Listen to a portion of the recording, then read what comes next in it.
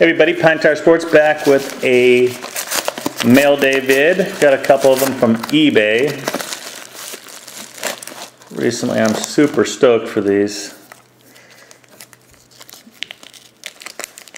As I opened a few of these and fell in love with them, these boxes. Awesome. Everything you could want on card autos, sweet patches. This is Hunter Pence, numbered 1 of 26 from 09 collection, Ultimate Collection. And here's the grand prize. This is the one I was really trying to get.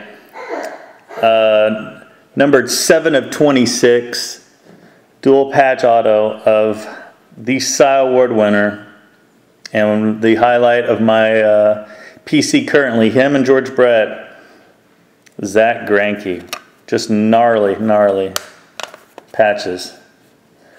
Well done too, shipped in uh, magnetics. Thanks for watching. If you, anyone has any of these, I'm interested, especially in anything Zack Greinke from Ultimate.